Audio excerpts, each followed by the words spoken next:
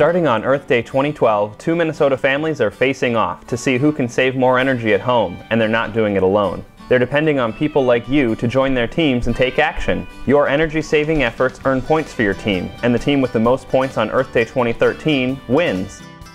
Let's meet the teams. Our first team, the Mill Pond Minimizers, hail from New London, Minnesota. My name is Jeff Fetch. I'm the father and the husband of uh, the household here. Uh, I work for the Clean Energy Resource Teams. I'm the coordinator for the West Central region. This is Henry. Henry is five. Henry will start kindergarten next September. Um, this is Hazel. Hazel will be two in May. And this is my wife, Ann Dibsetter. The house we live in was built in about 1896 as far as we can tell.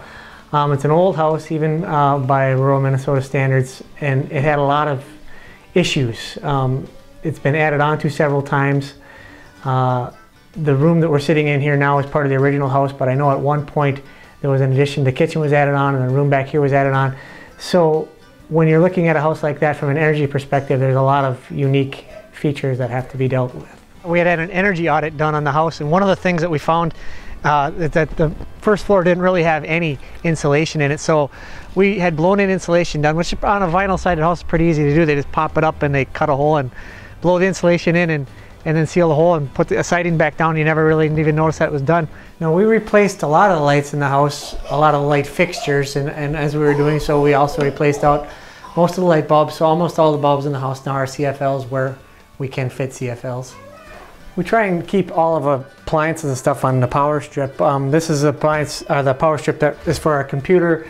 It runs the router and the, the wireless modem and uh, also a wireless audio transmitter for a speaker that we have so that every night we can just shut one switch off and it all goes off so stuff doesn't have to be running when we're not around.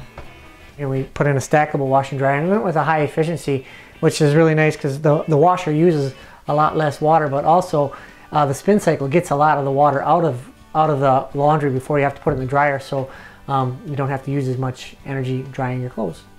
Our house is also heated by a geothermal heat pump. Um, we had that installed the year after we moved in. Uh, there's five wells in the backyard. They go down about 180 feet and they circulate uh, a fluid through them and brings that heat up from the ground and, and condenses it and brings the heat into the house. So the house is heated basically um, with the heat from the earth. I'm excited about the contest. I think that we can do more in our household and we've already done quite a bit, but I know that there's more to do. There's always more to learn, right? We're gonna win. We're the Mill Pond Minimizers. Yay!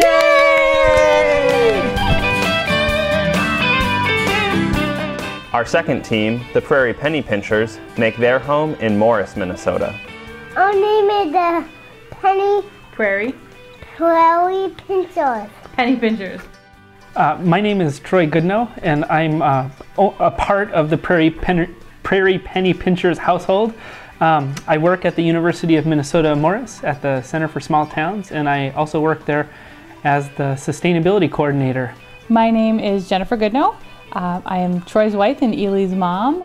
So a little bit about the house. It's been here since about 1908, so it's been here a long time, and we've had to think a lot about how to make the home comfortable and, uh, and to make changes within our, our budget.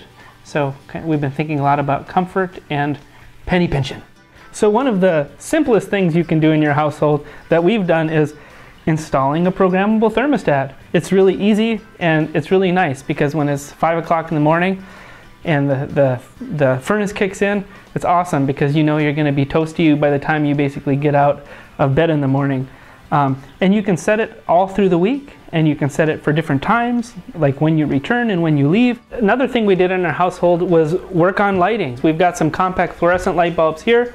We've got some compact fluorescent light bulbs in the recessed lighting overhead. And we've been trying some experiments too with LEDs. So we've got some LED candelabras and we've got an LED at the top of the stairs as a safety light for Mr. Eli. So our water heater, one thing we did almost as soon as we moved in was um, we found the instruction manual, followed the instructions, and we lowered the temperature down to 120, which fortunately on this one was pretty easier. No, no contractor needed for that one. We could handle it. Um, and so we turned it down to 120, which no sacrifice in comfort there. I still have, uh, you know, plenty of hot water for my showers.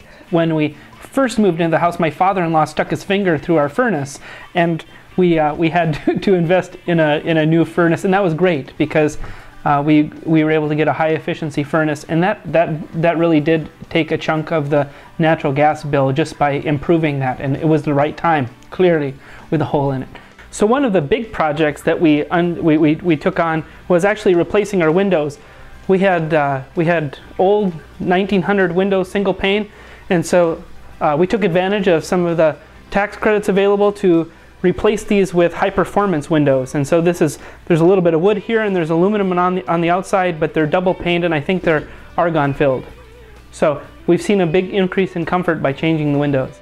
I'm excited about the opportunity to really think about how um, energy efficient and um, you know green, sustainable we're being. Because I think you know we did the windows and some of these things, then you kind of lull yourself into a sense that oh we're doing good. Um, but so I appreciate that with this with this competition, we get a chance to um, really think about are are we doing as much as we can. So I think that's one exciting thing, and I sure do like to win. And our name is the Prairie Penny Pinchers. Yay!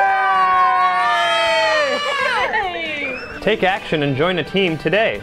Head to faceoff.mncerts.org. Choose which team you want to join, check off everything you've done to save energy, and click Submit. The points you earn will be added to your team's score, and you can come back as often as you like to submit new actions.